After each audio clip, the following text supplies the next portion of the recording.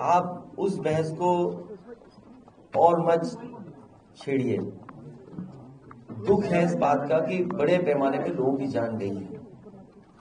उसमें महिलाएँ हैं, बच्चे हैं, और ज़्यादातर वो गरीब लोग हैं जो अभाव में जीते रहे हैं। और ये कार्यक्रम कोई पहली बार नहीं हो रहा था। इस तरह के कार्यक्रम समय समय पर उत्तर प्रदेश में जगह जगह पर होते हैं। दुखद यह है कि ऐसी घटना हुई है, जिसमें बड़े पैमाने पर लोगों की जान गई है। ये पूरी तरीके से ज़िम्मेदारी प्रशासन और सरकार की रही प्रशासन की जानकारी में या उनको जानकारी में ये आना चाहिए था, और पूरे उत्तर प्रदेश के लोग जानते हैं। जब कभी भी इस तरह के आयोजन होते हैं, जितने बुलाए जाते हैं, उससे ज़्यादा भी लोग पहुँचते हैं। कई बार आयोजक और कार्यक्रम करने वाले की जानकारी में नहीं होता है कि कितने लोग शामिल हो जाएँगे। कम से कम ये ज़िम्मेदारी प्रशासन को लेनी चाहिए और प्रशासन को हमेशा इस बात के लिए काम करना चाहिए कि जो कार्यक्रम है वो अच्छी तरह संपन्न हो जाए। सुरक्षित लोग आए और सुरक्षित लोग चले जाएँ। हमें उम्मीद है आने वाले समय में सरकार इस बात का ध्यान रखेगी और प्रशासन भी इस बात का ध्यान रखेगी। जिन लोगों की जान गई है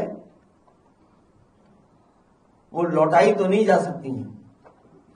लेकिन सरकार उन परिवारों की मदद करे जो घायल हैं, जो पीड़ित हैं, उनके इलाज का इंतज़ाम करें। और किसी पे आरोप लगाने से कोई लाभ नहीं मिलेगा। कल जब मैं लोकसभा में था तो आपके कई साथियों ने सवाल किया था।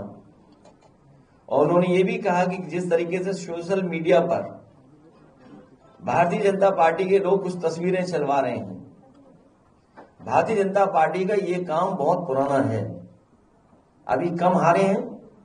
अगली बार पूरी तरीके से हार जाएँगे। तभी सुधरेंगे अध्यक्ष जी हाथरस की जिस तरह से तस्वीरें सामने आई उससे कहीं ना कहीं स्वास्थ्य व्यवस्थाओं पर भी बड़ा सवाल खड़ा हो रहा है। दावा किया जा रहा है कि अगर स्वास्थ्य व्यवस्था बेहतर होती है समय से उनको हॉस्पिटल में एडमिट कराया जाता है तो लोगों की जान बच सकती है। जब कभी भीड़ इकट्ठी हो जाए सरकार के अधिकारी और प्रशासन के लोग समय समय पर तैयारी करते हैं। कि क्राउड कैसे मैनेज किया जाए क्राउड मैनेजमेंट कैसे किया जाए। इमरजेंसी हो तो क्या क्या जरूरतें पड़ती हैं जिनकी पूरी की जाए जरूरतों को। ये आज जो आप बात कह रहे हो, स्वास्थ्य सेवाएँ पूरी तरीके से उत्तर प्रदेश की खराब हो चुकी हैं। ये पहली घटना नहीं है। समाजवादी पार्टी लगातार इस बात को उठाती रही है कि उत्तर प्रदेश की स्वास्थ्य सेवाएँ बिल्कुल खत्म कर दी हैं। जो लोग ये दावा करते थे कि नए नए मेडिकल कॉलेज बनाए हैं, जो मेडिकल कॉलेज चल रहे थे और जो समाजवादी सरकार में शुरू भी हुए थे, उनको भी अगर किसी ने बर्बाद किया तो वो भारतीय जनता पार्टी की सरकार है। हालाँकि विषय नहीं है, लेकिन मुझे याद है, सहारनपुर का मेडिकल कॉलेज, जो उस समय की पिछली सरकार ने काम शुरू किया था उसको पूरा करने का काम अगर किसी ने किया था, शुरू करने का काम किसी ने किया था तो नेताजी और समाजवादी पार्टी ने लेकिन आज पता करो, सहारनपुर के मेडिकल कॉलेज का हाल क्या है? या उत्तर प्रदेश के अन्य मेडिकल कॉलेजों का क्या हाल है? एक भी जिला अस्पताल इस सरकार ने नहीं ऐसा बनाया है, जिसमें गरीब का इलाज हो सके। और ऐसे समय पर जब इमरजेंसी हो, उस समय तो किसी को इलाज मिलता ही नहीं है।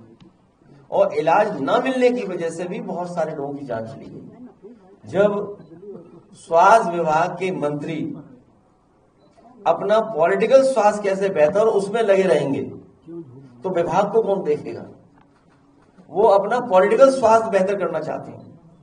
वो पता नहीं कौन सी पॉलिटिकल विटामिन चाहते हैं, उसी के बाद वो स्वास्थ्य विभाग ठीक होगा। या पता नहीं मुख्यमंत्री जी क्या उसमें से, विभाग में से कमी कर दे रहे हैं, जिसके वजह विभाग ही ठीक नहीं चल रहा।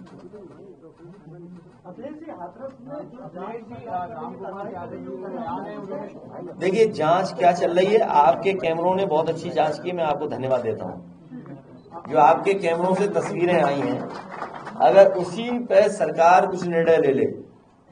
सरकार तो हर बात छिपाना चाहती है, आपसे बेहतर कौन जानेगा? राम गोपाल जी का बयान है, वो कह रहे हैं हादसा है, हादसे तो होते ही रहते हैं। देखिए, आप बीजेपी के लिए काम मत करो। बहुत कर लिया आपने काम। आप बीजेपी के लिए काम मत करो, मेरा निवेदन है आप पत्रकार साथियों से। कितनी जान गई है, वो भी आप नहीं बताओगे।